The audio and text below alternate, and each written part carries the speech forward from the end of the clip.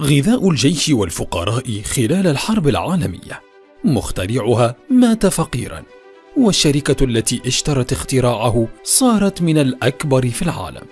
تسويقه اعتبرته أمريكا جريمة ضد الزبدة فجندت مفتشيها لإيقاف عملية تهريبه. قوانين زجرية عجيبة لمكافحة تسويقه وتلوينه وأوامر لمصنعيه بأن يعطوه لونا ورديا لتمييزه.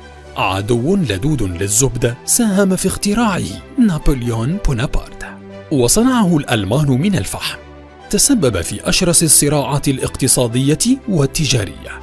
المارغرين وحروب الزبدة.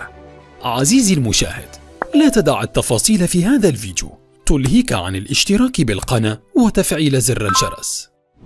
حسب القصص القديمة فيمكن أن تكون الزبدة قد وصلتنا من أسلاف جانكيز خان. فيقال إن البدو الأوراسيين سافروا بالحليب في أكياس جلدية على ظهور الخيل فكانت تمخض حتى تتحول إلى زبدة. بينما الأسطورة المعارضة تقول إن العرب هم أول صانعوها.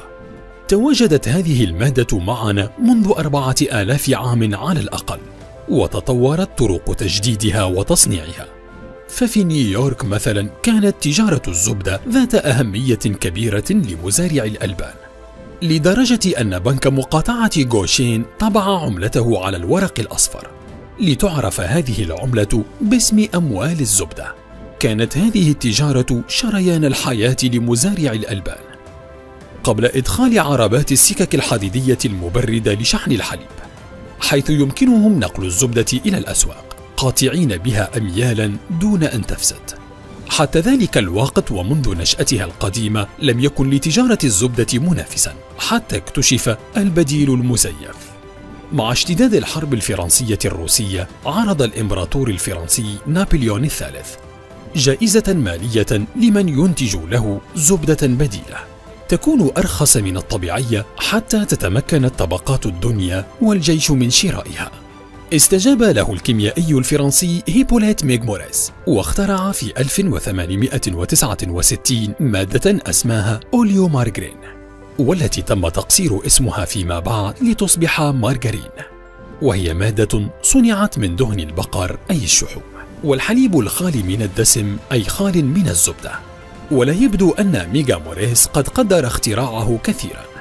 فسرعان ما باعه لشركة هولندية اختصت في صناعة الزبدة والتي أصبحت لاحقا جزءا من يونيليفر أكبر منتج المارغرين في العالم اليوم.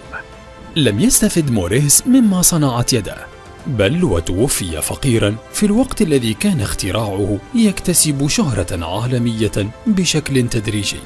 بوصول المارغرين إلى الولايات المتحدة وبروز أكثر من 37 شركة لتصنيعه هناك خيم رعب المنافسة على مزارع الألبان الأمريكيين وصارت كلمة المارغرين والزبدة طرف قتال ونزاع.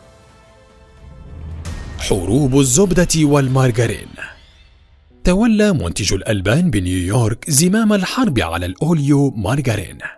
حتى أدت سياسة الضغط إلى سن قانون المارغرين الفيدرالي. ففي عام 1886 فرضت الضرائب على مصنعي. وحظرت استخدامه تماما مدن أخرى. ألقيت الخطب الحماسية دفاعا عن الزبدة وصور رسام الكاريكاتير مصانعه وهي ترمي بالصابون والأحذية في خليطه. وحتى لا يتم تضليل المستهلكين سن قانون يقضي بتسميته البديل المزيف لكونه منكها بالحيل الكيميائية. ورغم كل ذلك ما زال هناك من يشتريه لرخص تكلفته. فقامت عديد ولايات بيع الألبان ومنها نيويورك بحظر المارغرين وتوزيعه بالجملة وأصبح تسويق المارغرين جريمة. تطلب القضاء عليها وإيقاف البيع غير القانوني.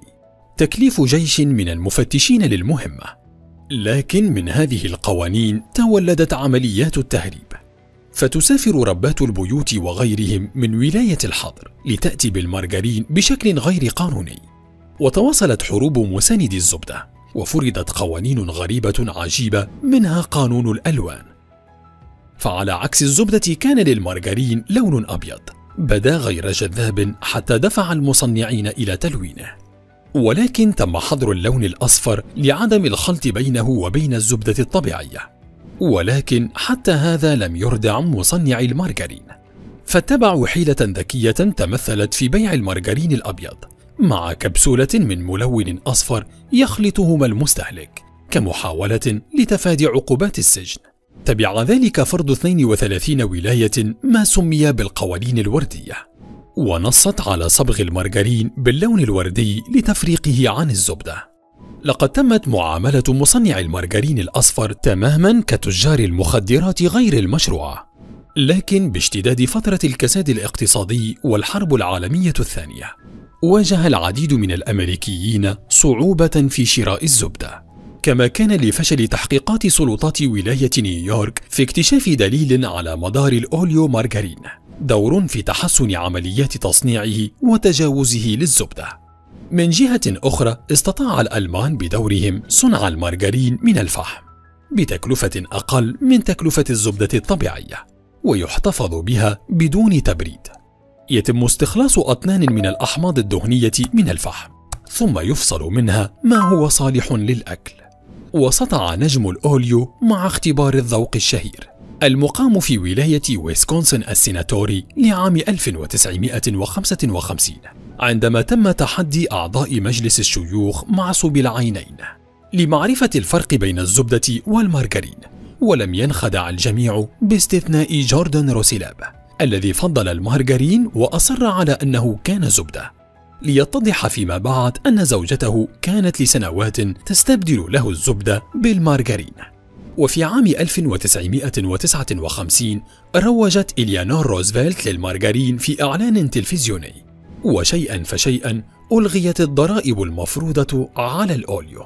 وانتهت حروب الأوليو والزبدة أخيرا في عام 1967 ولكن يبدو أن هذه المبارزة أجلت جولتها الأخيرة في عام 2014 حين تجاوزت الزبدة المارغرين كأفضل منتوج بأمريكا واليوم يتناول كل منا 5.6 رطل من الزبدة في المتوسط سنوياً مقابل 3.5 رطل من المارغرين.